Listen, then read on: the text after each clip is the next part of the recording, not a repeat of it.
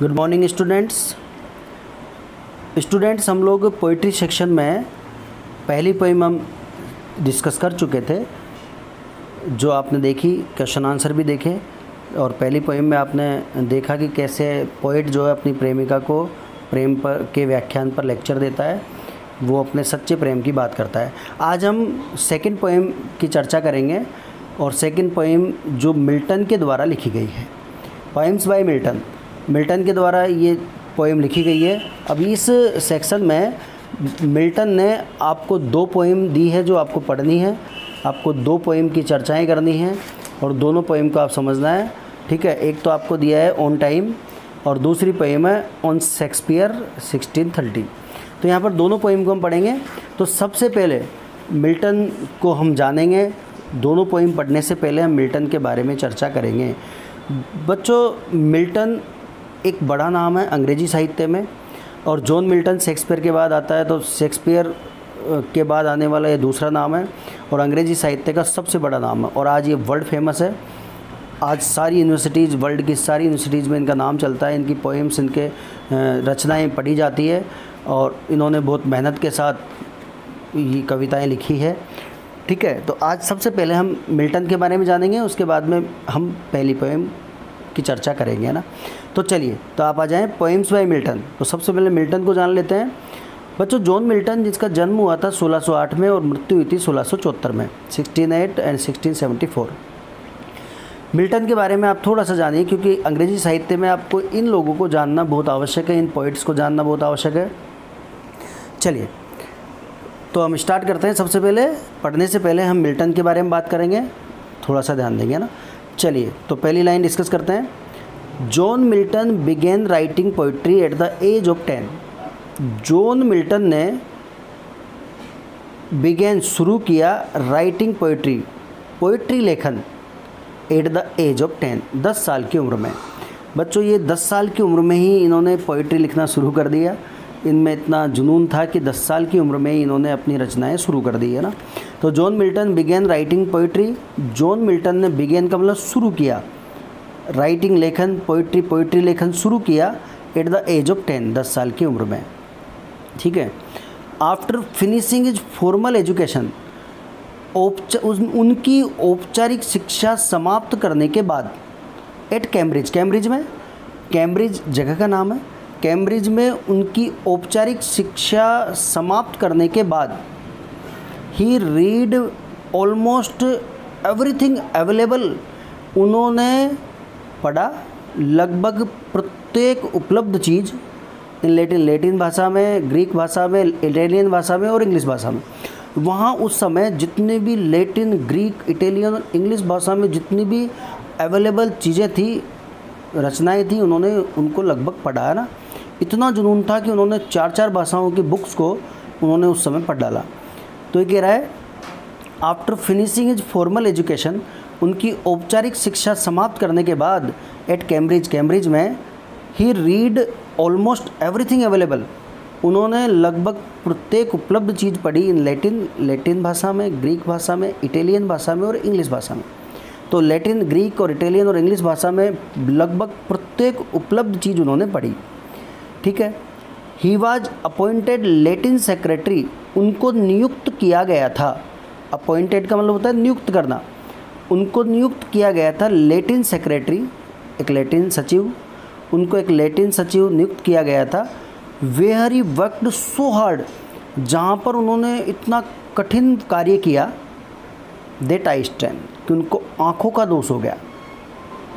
आँखों की परेशानी हो गई। आई स्ट्रेन हो गया ना? ठीक है? तो ध्यान रखना, इतना पढ़ा उन्होंने बच्चों, इतना सारी रात रात पर जाग के सारे दिन उन्होंने इतनी पढ़ाई की, इतना वर्क किया, अपने आप को इतना लगा दिया कि उनकी आँखों में प्रॉब्लम होने लग गई है ना? आई स्ट्रेन हो गया, आँखों का दोष हो गया, ठीक है? क्योंकि ये रात भर पढ़ते रहे, हैं और आपको पता है, इसके कारण वो क्या है, पैंतालीस साल की उम्र में पूरी तरह से अंधे हो गए। तो आप ये चेक करें तो ये ध्यान रखना हाँ ये पोइट अंधे हो गए थे पैंतालीस साल की उम्र में, ठीक है? तो यहाँ पर आप दोबारा देखें। He was appointed Latin secretary उनको नियुक्त किया गया था लेटिन सचिव। Where he worked so hard जहाँ पर उन्होंने इतना कठिन कार्य किया दैट आई स्टैंड कि उनको आँखों का दोष हो गया। From years of late night reading वो भी किससे? बरसों के देर रात पठन से, पढ़ने से। From years of late night reading देर रात तक, बरसों के देर रात तक पठन से। देर देर रात तक वो पढ़ते थे, सारी रात वो पढ़ते थे, उसके कारण उनको आँखों का दोष हो गया। कोच डिम और उनके लिए कारण बना टू बिकम टोटली ब्लाइंड पूरी तरह से अंधा होने का एट द एज ऑफ़ 45 पैंतालीस साल की उम्र में। और उनके लिए ये कारण बना ये चीज़ सारी रात पढ़ना, ये चीज़ उनके लिए कारण बना टू बिकम टोटली ब्लाइंड पूरी तरह से अंधा बनने का एट द एज ऑफ़ 45 पैंतालीस साल की उम्र में। अब आप जान सकते हैं, अंग्रेज़ी साहित्य के बच्चे बिल्कुल ध्यान रखना कि जॉन मिल्टन कौन से उम्र में अंधा हो गया था, पैंतालीस साल की उम्र में। और उसका रीज़न आप समझ ही गए देर देर रात तक पढ़ना, सारे दिन पढ़ना वर्क करना ना? तो ये इनको आँखों का दोष हो गया और अंत में ये पैंतालीस साल की उम्र में अंधे हो गए। ठीक है? In the final years of his life उनके जीवन के अंतिम वर्षों में in the final years of his life उनके जीवन के अंतिम वर्षों में ही रोट उन्होंने लिखा Paradise Lost and Paradise Regained इन्होंने दो बुक्स लिखी, बहुत फ़ेमस बुक्स है, पूरा वर्ल्ड पढ़ता है। उन्होंने उनके जीवन के अंतिम वर्षों में लिखा, एक तो पैराडाइज लॉस्ट और एक पैराडाइज रिगेंड दो किताबें लिखी, जिससे वो बहुत फ़ेमस हो गए। थ्रो डिक्टेशन शब्द विन्यास के माध्यम से, है ना? थ्रो यानी के माध्यम से, डिक्टेशन शब्द विन्यास शब्द विन्यास के माध्यम से। तो उन्होंने अंतिम वर्षों में पैराडाइज लॉस्ट लिखा, जो कि बहुत फ़ेमस इनकी बुक है। पैराडाइज रिगेंड बहुत फ़ेमस है। लास्ट वर्षों में इन्होंने ये दो किताबें लिखी, है ना? तो ये आप जाने, हालाँकि पूछता नहीं है एग्ज़ाम में, पर आपको ध्यान रखना है, क्योंकि आप मिल्टन को पढ़ने जा रहे हैं। मिल्टन की पोइम्स को आप पढ़ने जा रहे हैं तो आप ध्यान रखिएगा ना। चलिए बच्चों, बढ़ते हैं आगे। पहली पोइम हम पढ़ने जा रहे हैं ऑन टाइम चलिए ऑन टाइम बच्चों, इसको पढ़ने से पहले मैं आपको बता दूँ कि जिस समय मिल्टन थे, वो समय वो समय बहुत ही ख़राब था और मिल्टन उस समय से बहुत ही दुखी थे, असंतुष्ट थे, क्योंकि वो जो समय था उनके टाइम का, वो जो समय था, वो बहुत ही ऐसा था कि लोग वहाँ पर अपराध कर रहे थे बदमाशियाँ कर रहे थे, आक्रमण हो रहे थे, एक दूसरे से ईर्ष्या करते थे, एक दूसरे को मारते काटते थे तो ये उस समय से बहुत ही नाराज़ थे। और ये इतने दुखी हो गए उस समय को लेकर, उस वर्तमान समय को लेकर, कि ये समय से ही आग्रह करने लग गए कि अरे तुम चले जाओ। समय तुम चले जाओ, तुम जाओगे मतलब बुरा समय चले जाए, तुम जाओगे तो अच्छा समय आएगा। तो बच्चों, ये सिस्टम भी है कि जब ख़राब समय होता है तो रहता है, पर वो उसके जाने के बाद अच्छा समय भी आता है। तो यहाँ इस पोएम में वो समय से रिक्वेस्ट कर रहे हैं, समय से कह रहे हैं कि आप चले जाइए, कितना दुखी करेंगे हमें। तो समय को यहाँ पर वो डिनोट करता है ना। तो चलिए एन्जॉय करिए पोइम का, बहुत अच्छी पोइम है। तो आप समझ ही गए कि उनके टाइम का जो ख़राब समय था, उस समय से गुजर जाने के लिए वो अनुरोध करते हैं समय से कि आप गुजर जाएँ, ठीक है? क्योंकि उस समय लोग एक दूसरे से ईर्ष्या करते थे, एक दूसरे के प्रति दिखावा करते थे, है ना? और बिल्कुल इस तरह के एक दूसरे के प्रति ईर्ष्या के भाव रखते थे तो वो समय से कह रहा है। तो चलिए एंजॉय करिए पोएम का, बढ़ते आ गया ना? तो समय से कह रहा है फ्लाई अरे चले जाओ। फ्लाई का मतलब चले जाओ, उड़ जाओ। एनवियस टाइम ईर्षालु समय। ईर्षालु समय तुम चले जाओ। एनवियस ईर्षालु टाइम समय।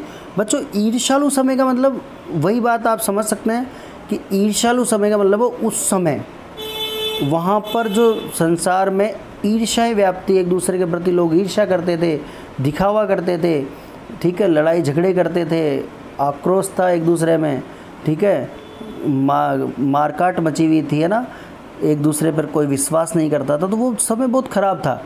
तो उस समय को इन्होंने किस रूप में संबोधित किया है? ईर्षालु समय, है ना?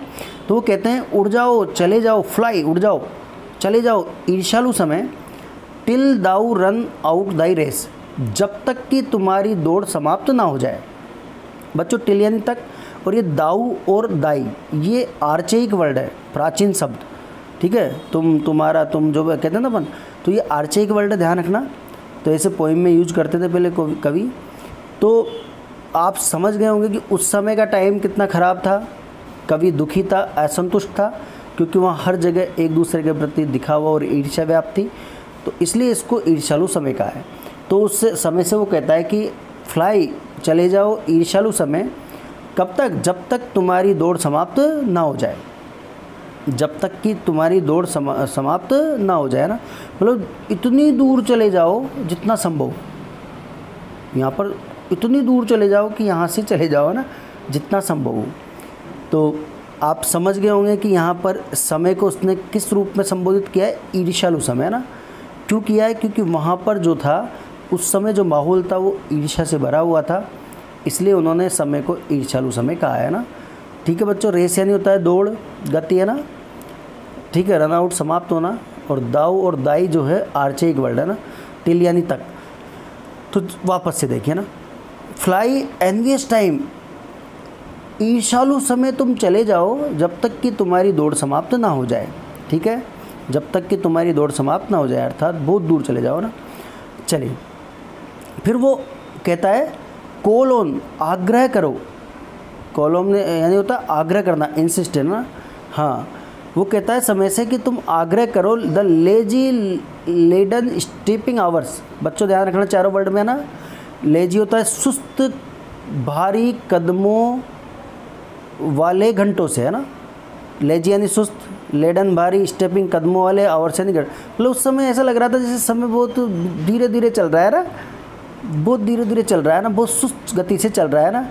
तो वो उनसे कह रहा है कि समय, तुम आग्रह करो किन से? सुस्त, भारी कदमों से चलने वाले घंटों से।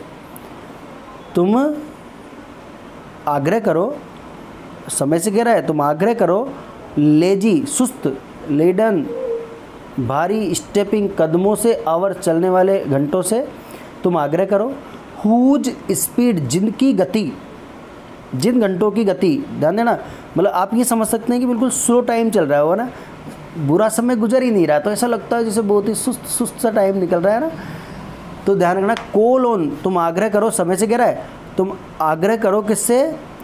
अपने सुस्त, भारी कदमों से चलने वाले घंटों से, ठीक है? हुज स्पीड जिनकी गति, जिन घंटों की गति is but the heavy plummet space जो क्या है? भारी भारी पेंडुलम की गति के समान है। बच्चों, आपने देखा होगा पेंडुलम हेवी यानी भारी प्लमेट्स यानी पेंडुलम आपने कभी ऐसी घड़ियाँ देखी है क्या? आपको पता है कि जिसमें एक घंटा सा लटका होता है, उसमें वो टन टन सा बस्ता रहता है, पेंडुलम बोलते हैं उसको। क्या बोलते हैं? पेंडुलम। पहले पूरा, प्राचीन समय में चलती थी पेंडुलम।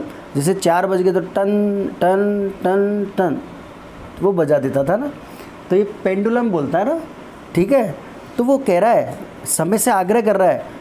समय से रिक्वेस्ट कर रहा है कि तुम आग्रह करो तुम्हारे भारी कदमों से चलने वाले घंटों से।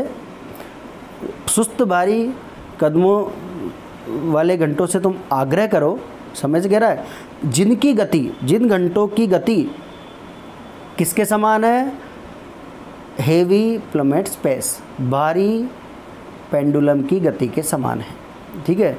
तो आप उनसे भी आग्रह करो ना, सीधा समय को रिकॉर्ड कर रहा है ना? एंड ग्लट दाई सेल्फ और तुम निगल जाओ। और तुम ग्लट निगल जाओ, खा जाओ, ठीक है?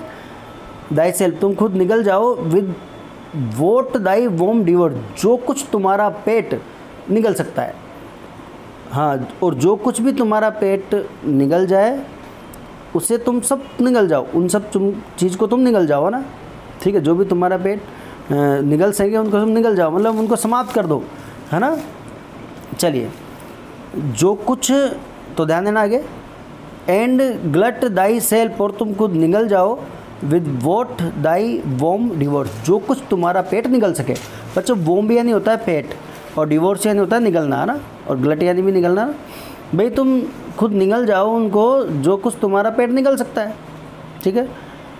हाँ उस समय को निकल जाओ which is no more than what is false and man ध्यान देना बच्चों आ गया ना?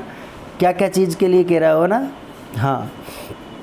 जो अधिक कुछ नहीं है विच इज़ नो मोर जो अधिक कुछ नहीं है, किसके सिवाय? Than what is false and man एक झूठा दिखावा और व्यर्थता के सिवाय कुछ नहीं है।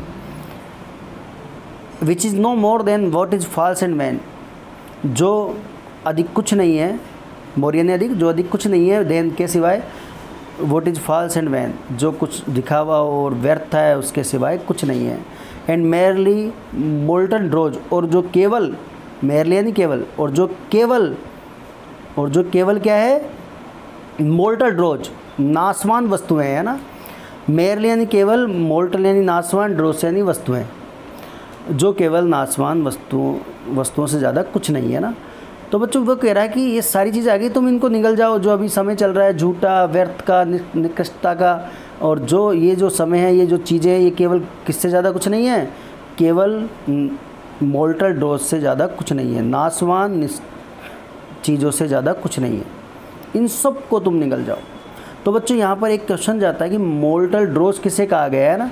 नासवान वस्तुएँ, ये सब चीज़ें नासवान है। झूठ है, दिखावा है, छलावा है, कपट है ईर्षा है, ये सब नासवान चीज़ें है ना? इनको मोल्टल ड्रोज कहा गया है ना? ठीक है? तो रिक्वेस्ट कर रहा है कि एंड ग्लट दाई सेल्फ और तुम उनको निगल जाओ। जो कुछ भी तुम्हारा पेट निगल सकता है विच इज़ नो मोर जो चीज़ें ज़्यादा अधिक कुछ नहीं है, सिवाय झूठ और दिखावे के और व्यर्थता के।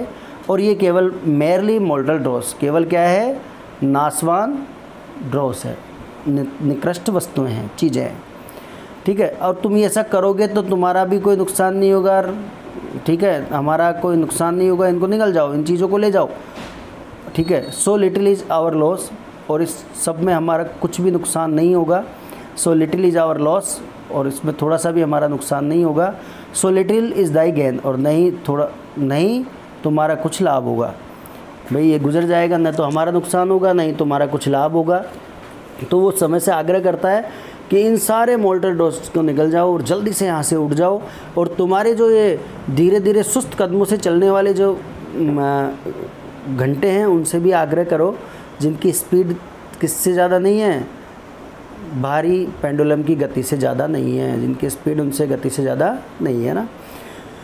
ठीक है बच्चों तो यहाँ पर इसको आगे हम बढ़ाएँगे तो ये वर्ड याद रखना प्लमेट्स का मतलब क्या होता है, हेवी का मतलब क्या होता है, यहाँ पर एनवेस्ट टाइम किसे कहा एनवेस्ट टाइम क्यों कहा गया है, समय से वो क्या आग्रह करता है मोर्टल ड्रोस क्या है, ठीक है, किसको निगलने की बात करता है ना तो आप समझ सकते हैं कि निगलने की बात कर रहा है मोर्टल ड्रोज को मतलब इन नासवान झूठे दिखावे, छल कपट वाली वस्तुओं को ना।